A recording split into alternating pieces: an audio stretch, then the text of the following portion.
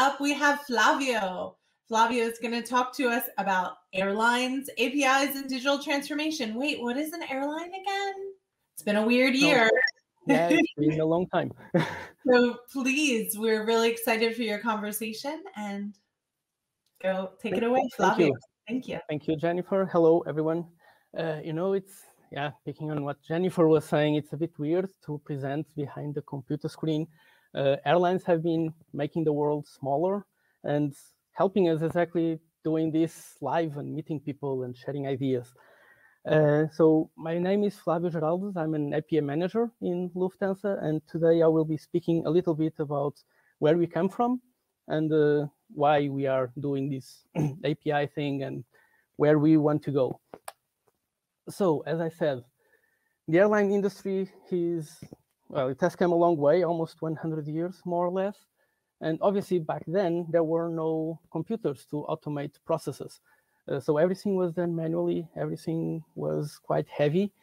And uh, especially, airlines are, by definition, a global uh, enterprise, a global environment. So we have to operate in multiple air, um, airplane, uh, in multiple places, in different agencies everywhere, in airports, in uh, everything. And communication is very difficult, especially without having the, the, the IT, all the stuff that we have today. Uh, but still, airlines were very quick at adopting these technologies. We can see a picture here that I found. Even in the in the 50s, we already were using some technology. And actually, I believe it was in the 60s, uh, GDS appeared. Uh, GDS are global distribution systems, and these were companies that were created exactly to manage this uh, this communication. Uh, so IT was very early uh, in in the in the industry in the business, uh, but it was a cost, a very big cost, but a necessary one. Of course, the world changes, time passes, and the digital becomes more and more present and customers demand more and more from all of us. So again, very early, a kind of digital transformation started happening. But it was very much transforming physical objects into virtual objects. The e-ticket that you have in your phone today, the e-bag, uh, all the virtual entities that we have created are basically digital versions of physical objects that already existed before. Uh, so they have the same constraints, the same boundaries, especially they follow the same processes, right? So IT kind of became more uh, existing, but uh, it was still very much a cost, right? So until recently, in the last few years, IT became more part of the experience, uh, became more everywhere, basically. Uh, so we have to become closer to the to the business. But uh, now we have other challenges because business wants us to have the, to be there. But what what can we do? We have built this huge legacy in the past 50 years. Edifact, RPC, SOAP, whatever protocols you can imagine, they exist. They are there somewhere uh, all the systems are still designed in this classical way, big monoliths, uh, big big stuff. But we have to be faster, right? As I mentioned, we are closer to the business. Uh, customers want uh, demand more things. We want to offer more enriching experience, more personalizations. But we struggle a lot to do it. Uh, so, what are the challenges that we we have in the end? I already, I already mentioned a little bit process digitalization. The processes are still the same for the past 100 years, more or less. We still have to do check-in. Do you know why you're doing the check-in as a customer? I would guess probably not, but you do it kind of in an automated way, right? You know 24 hours before the flight, you have to pick your phone and go there and say, yes, I will actually be in the flight, even if I already paid for the ticket three months ago. Uh, so processes is a thing that we need to, to still review. This global environment that we operated from the beginning, it ended up creating natural silos. As I said, communication between airports in Argentina and in Germany was not easy. So if you optimize locally, hopefully you might have a kind of optimal end-to-end system. Probably not entirely true, but it's what could be done in the way or at the time. But the silos ended up being created. So we still have them and we need to figure out a way how to how to overcome that. Of course, evolution in time, new partners. Are, I'm talking about Google, Skyscanner, this kind of digital native uh, enterprises that exist nowadays. They are very fast and we need to connect to them uh, and we need them to connect to us. And we are not able to, to work at the same speed. So we need to find ways to, to go around that. We need to, to be able to be as fast as they are. And thinking about the customers, uh, we need to bring back the customers end-to-end experience. What do I mean with this? Uh, in the old days, the experience was more or less starting when you enter the plane, leaving when you leave the plane. Nowadays, this is not the case. The experience, very correctly, is every moment the customer interacts uh, with us or has some kind of awareness of the brand. I mentioned before the GDS, Global Distribution Systems they started uh, as a way to enable the communication between the different areas of, of the company and across the industry also. But they ended up creating or growing much, much more than that. They, they are basically, imagine a bookstore which sells books from a publisher. That's what they are for us. They sell the tickets and the flights, making sure that the same ticket is not sold in Madrid or in Helsinki to different customers. Uh, so they, they took over the, the inventory of flights, uh, which is, is good because, I mean, it's a symbiotic connection between airlines and this GDS, but it's also a bit taking us, the customer a bit, little bit away from us, and we need to, to regain that somehow. Uh, again, customer expectations. Uh, customers nowadays don't want to be 30 minutes in a phone line waiting to be answered for whatever happened. We have different channels, chatbots, Alexas, mobile phones, everything. And this, first of all, needs to connect, needs to use the old systems that we still have around. Right? So we need to find ways to to use this, to, to have these new channels available. Uh, and mainly, we need to make sure that the information is coherent it, it would not be good if you see that your, your flight is 30 minutes delayed on your uh, Alexa at home, and then when you arrive to the airport, the flight is already gone because your mobile phone has a different information, right? Something like that. Ability to react fast, also a challenge we have a little bit connected with the processes. The world changes and things happen. Uh, sometimes a volcano explodes in Iceland or who knows, maybe a virus can take over the world and we, we don't know how long it will take. So we need to be able to react very fast to, to these situations. And, and sometimes, again, it's not so, so easy. And last but not least, I mean, it's not last, but last from this list, sustainability, of course, it's something that every industry, every company needs to be aware. And uh, we, we, it's also an important topic for us. So we have these challenges. Now, what we need to do, right? We sit down and thought, okay, what's what, what is our our ideas for this? First of all, and insisting a lot on, on this topic, process digitalization.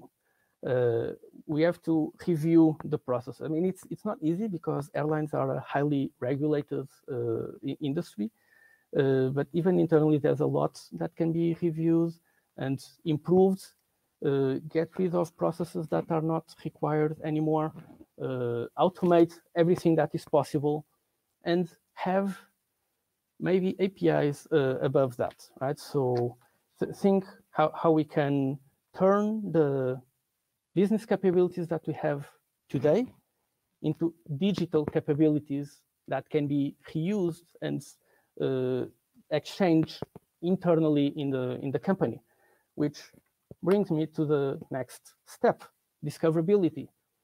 There's no point in having amazing functionalities if people cannot use them.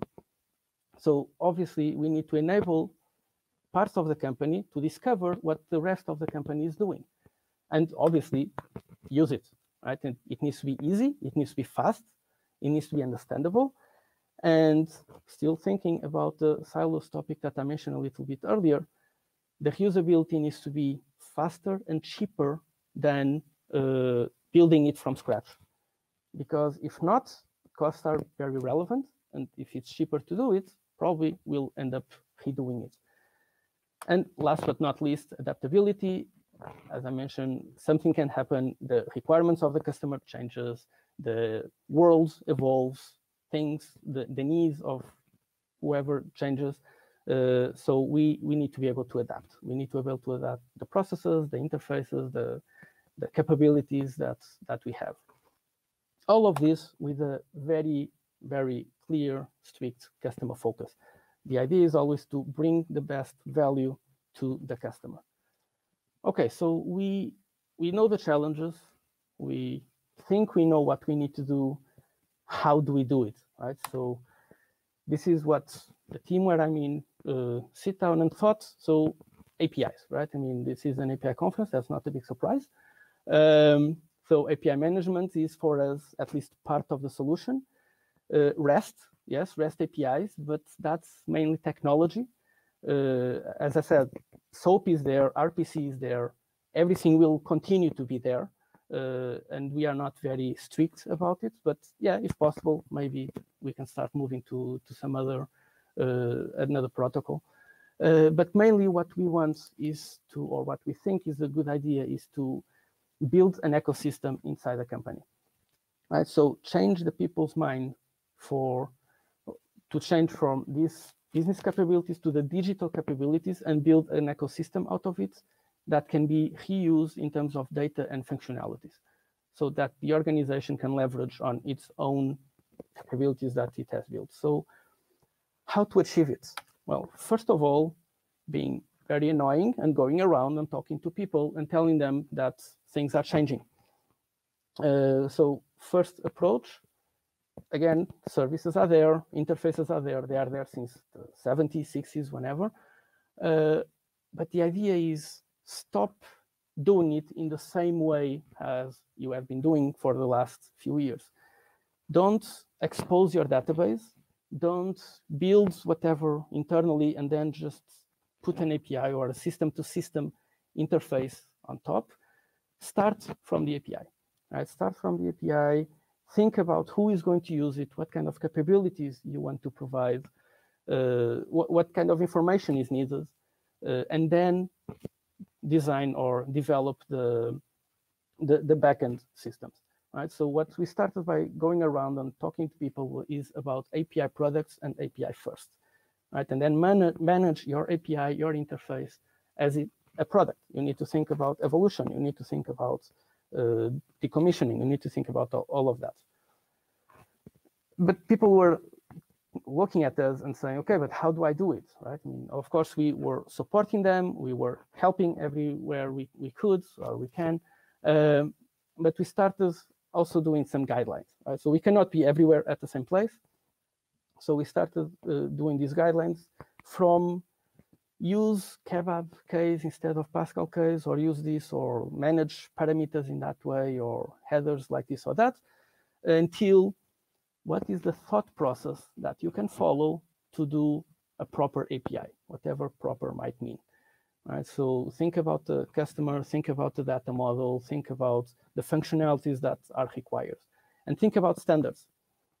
That's also something that we are trying to, to support uh, of course, REST already mentioned, OAuth for authentication and authorization, but also we are working very close with IATA, so International Air Travel Association, uh, which has all the or many uh, companies that work in the airline industry, and they are trying also to define uh, standards for the industry.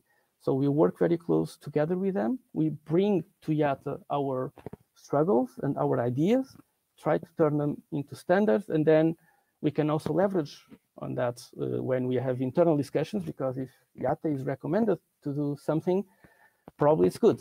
So it's something that we can also use as support. But again, th this is all very theoretical, very, very nice, but not sometimes not helping real the, the real life of our colleagues.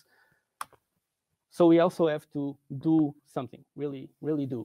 So we came up with this marketplace, which, as you all can guess, it has a gateway uh, connecting clients to backends. And here, what's our main idea is, is to decouple both sides, right? And go especially to the to the service creators and say, guys, you don't have to worry about anything.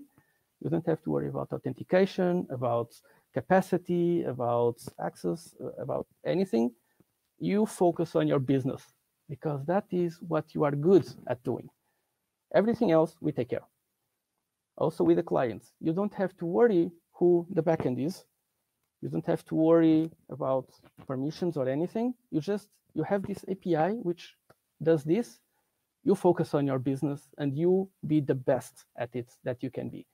And we take care of everything else. Uh, also next to that, so this is about connecting the applications, obviously, but we also want to connect people. I mentioned, I started by saying we want to build an ecosystem, and an ecosystem, a community needs to have people. So we have this developer portal, which is not the public developer portal. We also have one of those, which is amazing. You should go there, try it, let us know what you think. Uh, but this is more an internal one where we have the full catalog of all the interfaces, APIs, FTPs, uh, queues, everything that we have so that people can communicate. They can look for what is existing and, and share and use and participate in this community to build something, something better. Last, again, but not least, this self-service. Uh, it's a self-service API that we have built for a number of reasons. Uh, first of all, because we think we should eat our own dog food. So if we are going around and talking about API products and guidelines and standards, we should also build it ourselves. That also helps us understanding the problems that our colleagues have. Uh, but also this is, so as I mentioned, APIs, which are mainly focused for the providers of services. And they can use this to integrate in their CI/CD pipeline, right? So they can basically manage the full life cycle of the APIs uh, through or their APIs through our API, right? So that that's something that's is helpful for for them. Uh, so we have built this, we have this working, we have all the problems solved, so everything must be must be good, right? So no, of course not, because it doesn't matter if we have a tool, uh, if people are not using it, if people still have concerns, and in airlines, uh, something that is very important is safety and security, and that usually comes with control and when you put an API out there, you're losing control. When you're using someone else's API, you're losing control.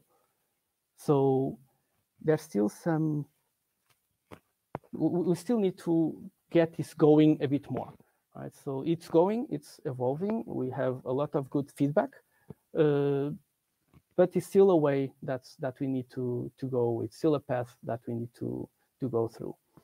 But still, we have some good stories, and let me share that with you. Uh, for example, Flight Status API.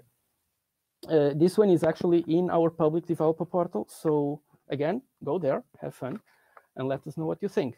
Uh, this is a very simple, very easy to use API, which first of all, it's used across all the channels uh, in the in the entire group. so Lufthansa is a, a group of airlines. Brussels Airlines, Austria, Swiss. Of course, Lufthansa airline itself also use this API. So everywhere where you see the status of a flight, if it's when it's going to arrive, which are, which is the gate, all of that it's coming from this API. And it's also used outside. FlightStat is a company that uh, manages uh, flight information, so they provide statistics and tracking, and, uh, and they're using this uh, this API with uh, well, they're very happy about it. A couple more stories, crew apps. Uh, so we have some colleagues, uh, mainly pilots, who like to develop some code, and they they they they learn that some APIs existed that could help them. They have always the struggle how long am I going to be uh, in a certain city between flights? Wh when is my next flight?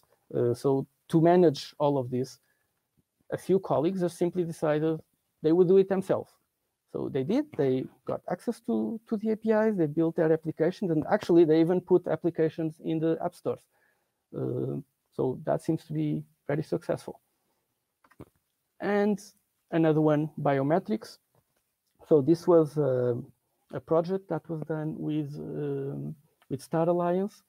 Uh, it's basically about going through the airports uh, without touching anything, right? So you you have some cameras that identify you, and you can just go through the, the entire process. Um, so there are several things that happen here. First of all, again, safety and security. The API is fully GDPR compliant, so the information of the customers is only sh shared with whoever the customers have accepted explicitly and while they allow it so if they go and cancel problem problem solved it's not shared anymore uh, but th this was done in a record time right so with the tools with the standards we have uh, around it uh, we managed to do in a few weeks something that before used to take a few months at least uh, and also in terms of speed the Star Alliance colleagues when they came to us they were expecting, okay, this is going to take forever. The API is going to look horrible. We're not going to understand anything. No, it was actually very quick, very easy to, to understand. And in fact, we ended up being the, the first ones to, to get it working with Star Alliance. So another interesting success story. And I think that's it. So here is the, the URL for the portal. Uh, again, go there, have fun, and let us know what you think. And if you want to get in contact, you also have a few, a bit of information there. Jennifer. Obviously, we want to know what's the API to use to get automatic upgrades to first class. No, I'm just kidding. I'm sure you get that all the time. yeah, yeah um, I'm sure. I'm sure we have one, and I'm sure we can find an agreement. Jennifer Riggins, Jennifer K. Riggins. No. um, we have a clarification from the mm-hmm. audience. Uh, what do you mean when you talk about taking some power back from the global distribution systems? Uh, well, it, it's really about getting the customer, right? I mean, it's not about telling them to go away. As I said, it's a very symbiotic uh, relationship we have with them. So we are working very close together. Uh, it's, I hope it's as good for them as it is for us. Um, but we do have this challenge. We need to understand when the customers are trying to reach to us. And, and it's not an easy solution. And we have actually to work together uh, because if not, it's going to be bad for, for one of the sides. And that's obviously not what we want. Okay.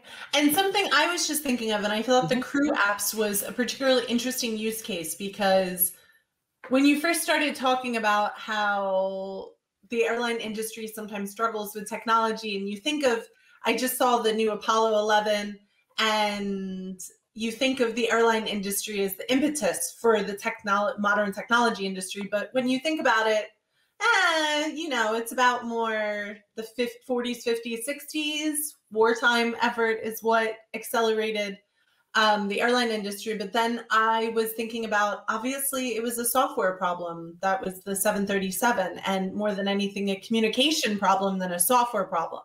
So with the Boeing 737 MAX, what I was thinking of um, is I thought your community database sounded very interesting, but also I was thinking that's people have to go looking for that. It's kind of like a library. So, how do you push notifications to different teams, especially teams that, dare I say, uh, flight attendants, pilots may be very good at their technology area, but they may not have this overall or may have never heard of an API. So, how do you over communicate things like that?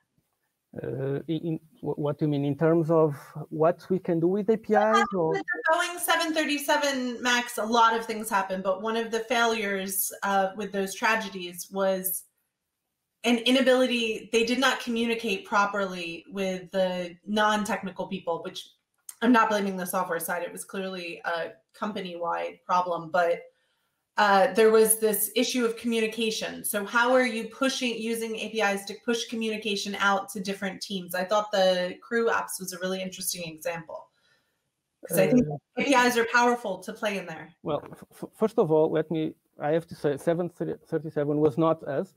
Uh, no, no, no. I, I, when you're software industry, yeah, and uh, that's what you think of. No, but, I mean, of, of course, of course, there are internal communication teams, right? And I mean, I'm probably not the best one to talk about that, um, but uh, we do have.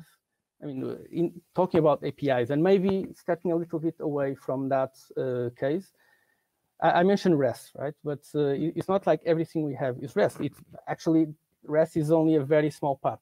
We also have uh, asynchronous APIs. We also have uh, queuing systems. Uh, we also have uh, notification, push notification for mobile devices. Yeah. So all of that can be used uh, quite efficiently to for to do that kind of communication. But then what goes inside the message, that's a full other department that needs to take care. yeah. Absolutely. Yeah, no, absolutely. I think um, it's just a very interesting thing that the power of APIs doesn't just digitalize a company, it enables to break down these communication silos and these technological silos. Just like you said, like, I don't think as customers we would in any way be okay if we showed up, we, we thought we were going to make that flight and we didn't. So I think that was an excellent example. So thank you so very much, Flavio. And I look forward to continuing the conversation. And I'm sure your colleagues will too yep. during the panel. And of course,